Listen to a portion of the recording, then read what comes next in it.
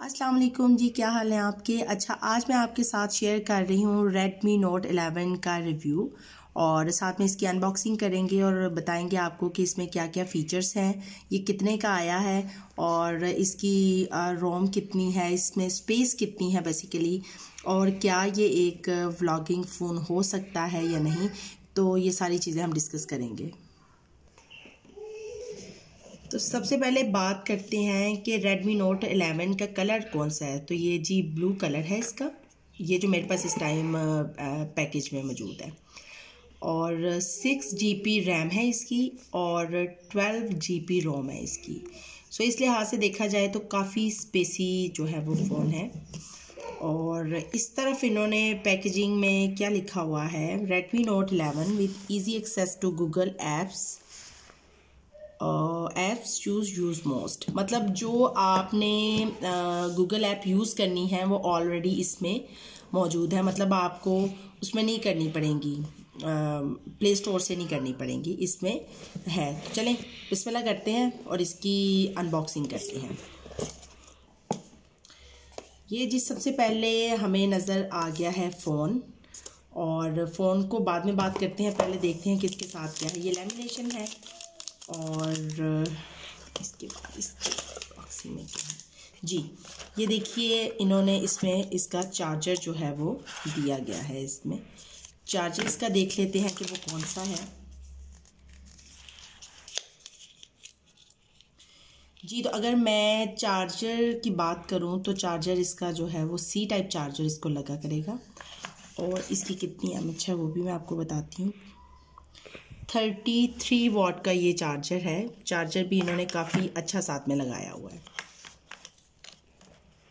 तो आइए अब बात करते हैं फ़ोन की। फ़ोन का सबसे पहले मैं आपको कलर दिखाती हूँ। ये कलर है फ़ोन का। और ये जो है, ये इसके ऊपर कवर है। ठीक है? ये कवर इसका अपना ही है।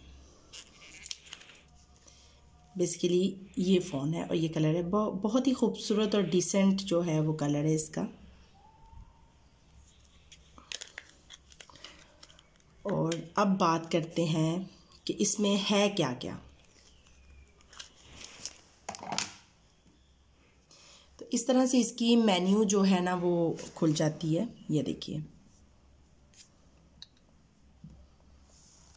सबसे पहले गैलरी प्ले स्टोर ये तो मोस्ट इंपॉर्टेंट चीज़ें जो दोनों हैं वो तो आपके सामने ही हैं। और जो असिस्टेंट है इसका, वो भी आपको सामने मिल जाएगा। फाइन मैनेजर भी पहली ही जो आपकी स्टोरी है, उसमें ही आपको मिल जाएगा। उसके बाद देखते हैं कि गूगल में उन्होंने हमें क्या क्या दिया हुआ है।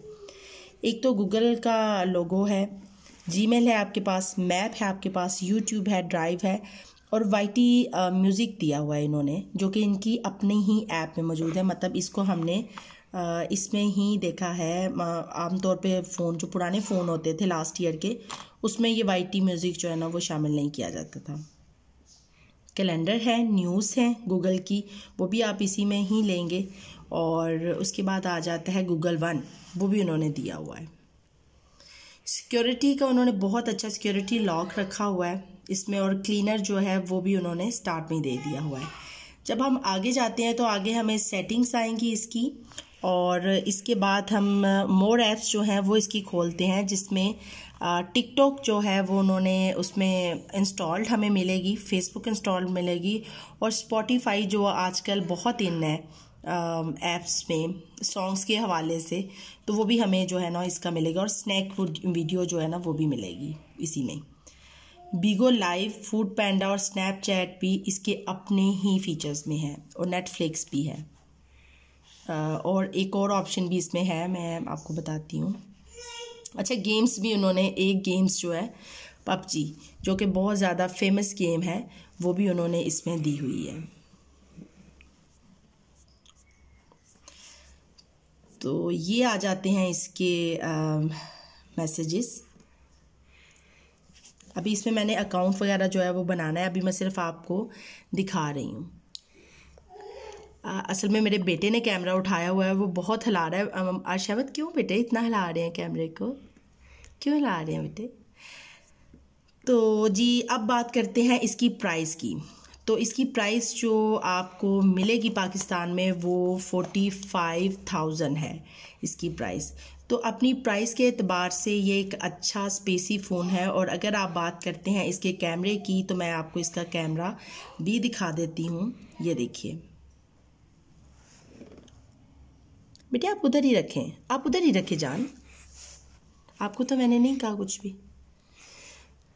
तो ये देखिए जी, ये है इसका कैमरा।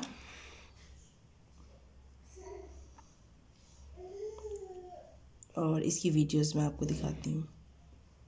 ये देखें। फोकस इसका अच्छा है।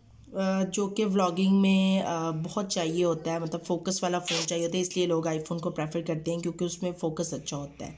तो जहाँ तक बात स्टेबिलिटी की रह गई, वो इसकी बेहतरीन है। तो मैं आपको फुली रिकमेंड करती हूँ, आप रेडमी नोट एलेवन ले सकते हैं। अगर आप एक व्लॉगर हैं और आपको बहुत ज़्यादा डाटा स्टोर करना पड़ता है और आपको व्लॉगिंग के लिए कोई अच्छा फ़ोन चाहिए तो मैं आपको रिकमेंड करती हूँ कि आप ये ज़रूर लें। एक तो ये विद बजट है और दूसरा काफ़ी अच्छा है। तो आज के रिव्यू को भी यहीं पे एंड करते हैं। आपका बहुत शुक्रिया देखने का, अपना ख्याल रखिएगा। अल्लाह हाफिज़।